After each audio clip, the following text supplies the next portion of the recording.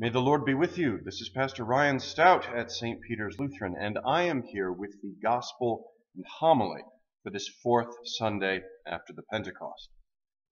The Holy Gospel according to St. Mark, Glory to you, O Lord. On that day, when evening had come, he said to them, Let us go across to the other side. And leaving the crowd behind, they took him with them in the boat, just as he was. Other boats were with him.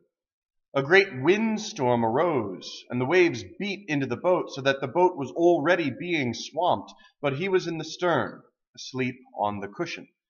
And they woke him up and said to him, Teacher, do you not care that we're perishing? He woke up and rebuked the wind, and said to the sea, Peace, be still. Then the wind ceased, and there was a dead calm.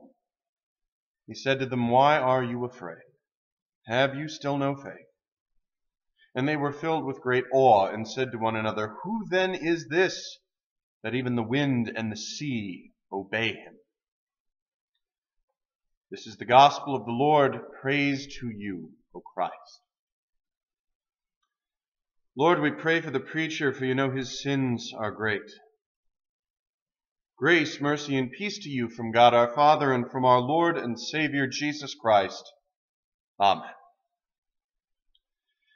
The sea in the Bible, and more broadly in the collective unconscious, represents chaos and variability, the cycle of life and of death. The world is born from water in Genesis, then deluged, drowned, and reborn anew. Each one of us enters this world through the waters of the womb, and each Christian enters the church through water and the word as well baptized into Jesus' death already died for us and into his eternal life already begun. The sea is home to treasures as well as monsters. Nothing is more creative than water, and nothing is more destructive. The very blood in our veins is modified seawater. In Revelation, the sea represents the Gentiles, the nations of the world who do not know God, or at least don't know him as Israel does, especially the Roman Empire, which at the time was all the Gentiles basically rolled into one. The first emperor of Rome had a quote that I'm fond of repeating. Impious was he who first spread sail and braved the terrors of the frantic deep. Ancient peoples feared and hated the sea even as it brought them life and food and trade. The Romans called the Mediterranean our sea, the center of their world. Yet even they clung close to shore and feared to row too far from land. For them, the Atlantic was the end of the earth. Now, I've been to the Sea of Galilee which is, of course, not really a sea at all, not literally. It's a lake, about 8 miles by 13. Nothing to sneeze at, but not exactly Superior or Michigan. It is subject to some rather weird weather. It can get choppy, fast, and foggy. One can understand how modestly sized fishing boats sailing across could suddenly find themselves swamped by storm or by squall. I certainly wouldn't want to go down out there. In Jesus' day, it was a crossroads of cultures. Galilee had always been a borderland, from the recent Roman pleasure city of Tiberias to the Hellenistic city-states of the Decapolis to the old Phoenician marchlands, Galilee of the nations. In crossing the waters, he's crossing a boundary from Jew to Gentile, godly to godless. Anyway, a storm comes up. The little boat is buffeted by waves. It's starting to founder, starting to flood. And Jesus, like Jonah, is asleep for it all. Isn't that something? Can you imagine? Storm, winds, high seas, a tiny drowning boat, and Christ remains so unperturbed that it doesn't even rouse him from his sleep. The disciples far from cowards here, are rightfully dismayed. They're all about to die. So that of course they raise Jesus from his slumbers. Of course they look to their Lord for deliverance, or at least for commiseration, in the midst of their distress. Thus does Christ rebuke the wind and say to the sea, Peace, be still. And the wind ceases and there is a dead calm. And the disciples are terrified, filled with great fear. Don't let this English translation deceive you. The awe here is their terror. Storms are scary. In pagan pantheons, the storm god is invariably the biggest dude on the block. The sea is scary. She is Leviathan, Tiamat, Jormungand, Godzilla. Who then is this? Who is not simply stronger than the storm, greater than the sea, but who subdues them with but a word, commands them, and they obey. Our texts today make the answer clear. Were you there, God asks of Job, when I shut in the sea with doors, when it burst out from the womb, when I made the clouds its garment, and thick darkness its swaddling band, and prescribed bounds for it, and set bars and doors, and said, Thus far shall you come, and no farther, and here shall your proud waves be stopped. Or how about the psalm? They cried to the Lord in their trouble, and he brought them out from their distress. He made the storm be still, and the waves of the sea were hushed. There is no ambiguity for the evangelist here. Only one commands the sea. Only one can calm the storm. Only one, only God. And they were filled with great fear. I have an icon of this story in my office of the little fishing boat on seas so high that the keel is nearly vertical. Peter is standing and pleading with his hands out while another disciple hunkers down in the hull. Jesus sleeps placidly, resolutely, wrapped in blue and red, colors signifying heaven and humanity, while his hands are crossed over his chest like the pharaohs of old. He is lying down, but the boat has risen so high that he's almost as upright as Peter. And that icon is one of my favorites because it speaks to me. I empathize with Peter and with the other disciple as well because life is a storm on the sea, is it not? The deck is ever shifting, the winds are ever blowing, and the waves buffet us from every side, so that we cry out in exasperation and in fear.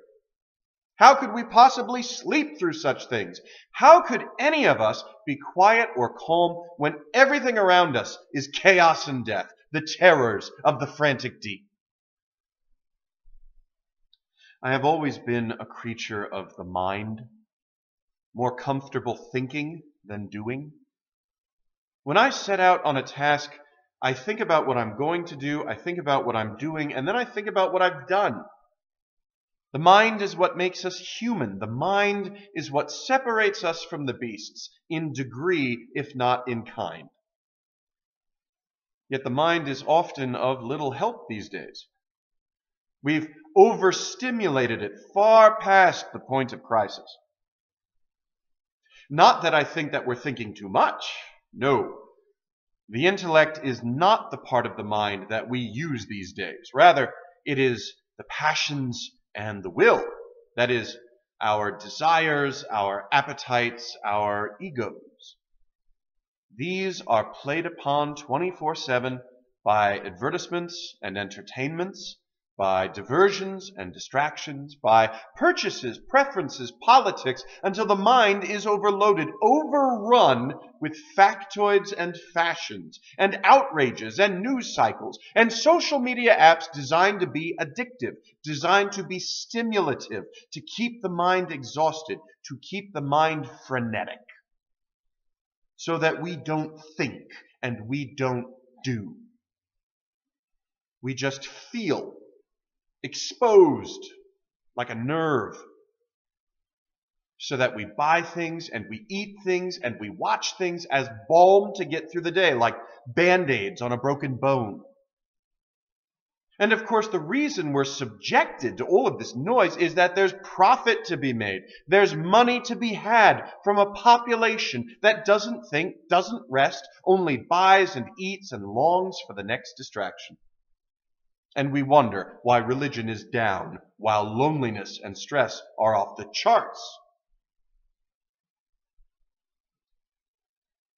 But there is something deeper than the mind deeper than either your actions or your thoughts. There is within you a still small space, a quiet calm unperturbed by the storms of change and chance. Some call it the spirit, or some the soul. It is the imago Dei, the image of God within. It is the part of you that observes, that is aware, that says of itself, I am. I am, which is the name of God, Yahweh.